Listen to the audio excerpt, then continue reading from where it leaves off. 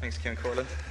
Greece is in a state of humanitarian and economic catastrophe. It is in that state because of the austerity imposed by the Troika and implemented by New Democracy and PASOK. Wages have fallen by 37%, public sector employment by over 25%, and pensions by almost 50%. The result is an explosion of homelessness, of unemployment, of suicide, of poverty, of misery for the Greek people, and an economy that has shrunk by almost a third. The purpose of this austerity, like our own, was to bail out German and French banks. Of all of the so called bailout funds that went into Greece, less than 10% has gone to the Greek economy. It's for that reason that the Greek Debt Truth Committee, set up by the Greek Parliament, has found the debt to the Troika to be illegal, illegitimate, and odious.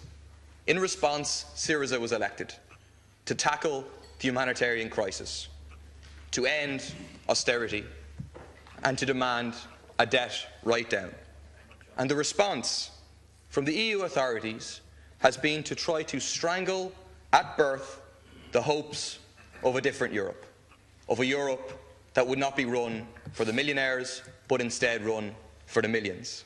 The democratic wishes of the Greek people expressed in an election have been casually tossed aside by those authorities. And a key player in this has been the unelected, unaccountable European Central Bank, which previously held a gun to the head of the Irish government, demanding we go into a bailout and demanding that bondholders were not burnt. Thank you. It has a noose around the neck of the Greek economy in the form of restricted access to ECB funding for Greek banks. And it is using that noose to threaten the collapse of the Greek banks in order to demand the humiliation of the Greek government. Question. And please. so, what, what did Minister Noonan, Minister of Finance, say about this noose yesterday? He lined up Thank with you. the German Minister of Finance, Schäuble. He lined up and he said, he said, tighten you're the noose. He said, tighten the noose. Don't give them any more money. Demand their humiliation. Is that the government position, Taoiseach? Thank He you. stabbed the Greek people in the chest, and in so doing, he stabbed the Irish people in the back.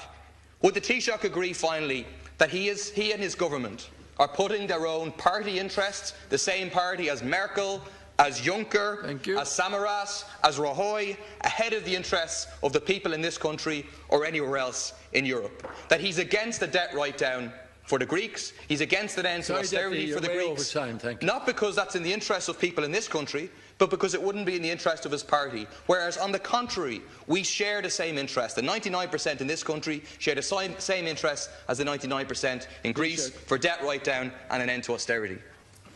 I, I reject your, um, your speculative comments on, um on, on leaks from the, uh, from the Euro group.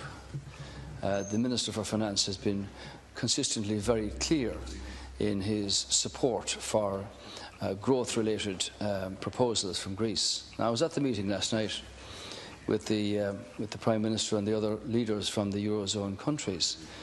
And I have to say to you, uh, Deputy, that uh, the feeling of that meeting was unanimous in that there should not be, under any circumstances, an exit by Greece from the Eurozone. Um, leaders, as they, as they have done previously, were very clear in their support, uh, in their encouragement, and in their assistance for the Greek Prime Minister and for his government. Make the point that um, the Prime Minister himself uh, spoke very positively about the current situation. Um, he said that the new proposals that were on the table from Greece uh, went uh, very much in the right direction towards both meeting the principles uh, and indeed the objectives and the targets uh, that were set by the institutions. Uh, clearly, there's a gap between uh, these two at the moment. Uh, but the Prime Minister was, uh, was very clear that it's his intention uh, to be able to uh, come to a conclusion uh, on these negotiations this week uh, so that the matter can be, can be dealt with and that Greece can continue to be um, a strong member of the, of, the, of the Eurozone. He did point out the situation insofar as, insofar as pensions were concerned, early retirement, reduction of debt, um, and the issues that his uh, government had put on the table.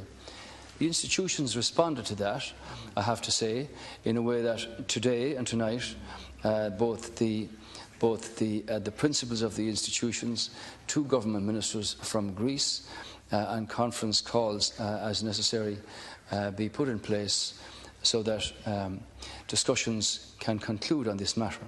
I would say to you, Deputy, that um, the outcome of this has to be one that is, that is fair, one that, is, uh, that makes economic sense, um, and one that uh, is uh, sustainable uh, from a financial point of view. The Prime Minister himself was very clear that he wants his country uh, to be able uh, to pay its way, to contribute, and um, in no circumstances to leave the Eurozone. So, from your point of view, you want to continue on speculation. That's, your, that's your prerogative.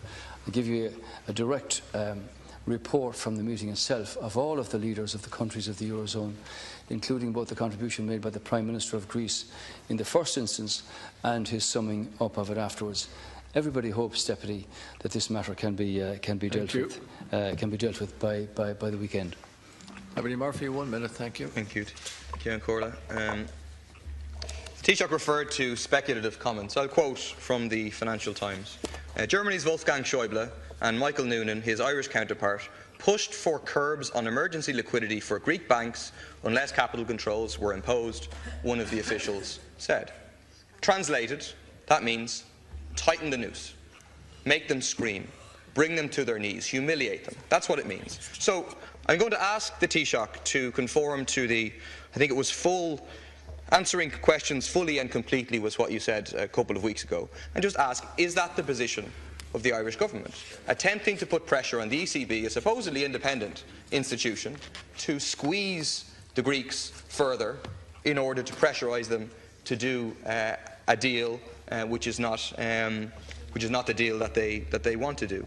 I just finally re remind the Taoiseach of back to June 2012 when he came back with the Taoiseach, uh, like Chamberlain declaring peace in our time with the announcement of a seismic shift that we are going to get a deal on the debt that has since been quietly shelved, and instead the Irish government has joined the chorus with Germany that there will be no debt write-offs. It's in the interests of working people, the majority in Thank this you. country, that Greece gets a debt write-down.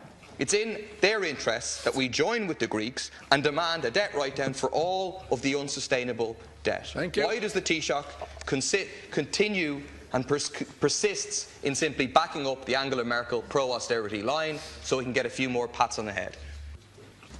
Well, again, I, I reject your, uh, your assertions of, uh, of uh, any comments made uh, by our Minister for Finance at the Eurogroup meeting. So don't believe everything you read in the Financial Times is the message there. Now, I'd point out to you that um, um, the European Central Bank is completely independent of governments. They have given 87 billion in emergency liquidity uh, to, uh, to Greece. 87 billion. Uh, and Mr Draghi, for his part, said uh, that in their independence, because this is a Eurozone, ELA uh, has been continued on the, on the assumption that negotiations would conclude and a deal can be done. Um, and that's why, as the programme ends this weekend, it's very important, Deputy Murphy, um, that, um, that the principles of the institutions uh, now discuss in a, in a rational way with the, uh, with the representatives of the, of the government of Greece um, uh, the, the, the, conclusion that's necessary. I would say to you that the, uh, the Prime Minister himself said that not everything about his government uh, is absolutely positive.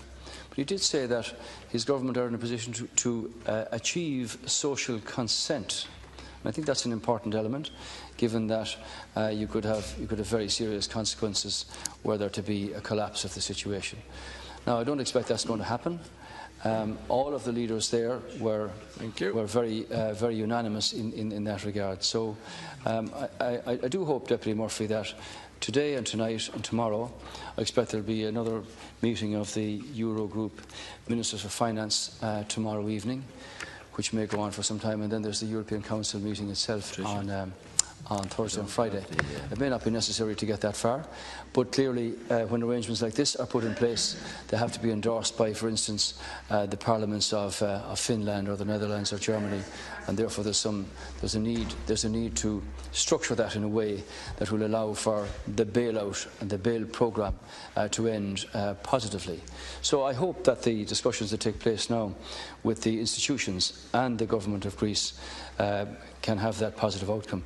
Now, finally, I say to you that uh, the Prime Minister is the elected Prime Minister and he has a mandate from his government. Sorry, we're way But like all of these things, uh, they, they require discussion uh, and negotiation, and we hope in everybody's interest that that can be concluded positively. Thank you. That completes uh, leaders' questions for today. We're now moving on to questions to An Taoiseach.